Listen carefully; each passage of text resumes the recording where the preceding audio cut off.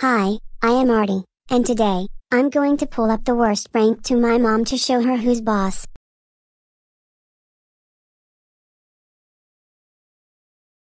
Now I'm out of here.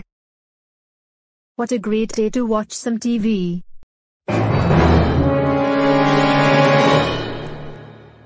Oh my god! Spiders. Get it out of here right now. What's going on, Mum? Why are you so scared? Sangeeta and Emily, both of you will not believe this.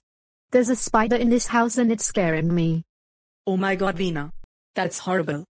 Wait a second, Mum and Aunt Sangeeta. I know who's behind this prank.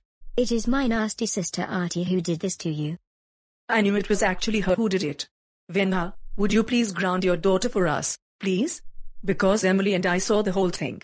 You have got to be kidding me. Artie is the one who did this to me to show her who's boss.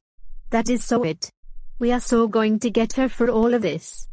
Artie, you get your ass over here right now. What is it you girls? Artie, you'd better explain this to us right now why you put up the spider in our living room couch right now. Look, the reason why I put up the spider in our living room couch is because I got expelled from my school for calling the teacher the squirtle jerk who likes to drink root beer.